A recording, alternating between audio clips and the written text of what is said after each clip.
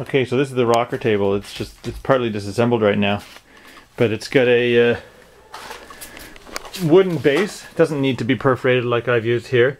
Uh, as you can see, so we've got a, a, frame and then I can support it and adjust the height of it for different boards. And then I've got a couple of strips of wood I lay down the middle and then I've got some eighth inch plexiglass on top.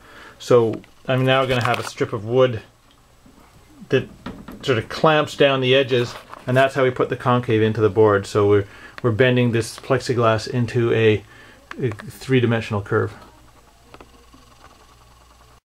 I might also add, uh, I have tried screwing the plexiglass down and you, that can be done, but I've also had problems with cracking the plexiglass. So I use a strip of wood on either edge of the uh, plexi and just sort of clamp it in place with a long strip of wood rather than actually drilling through the plexiglass and screwing through the plexiglass.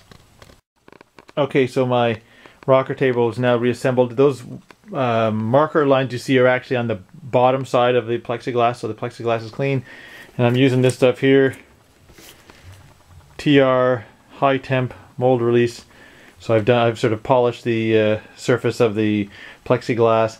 It may pull off the plexiglass anyway, but I use this just to be sure that it's going to come off easily so I don't crack my plexiglass and I can use it over and over again.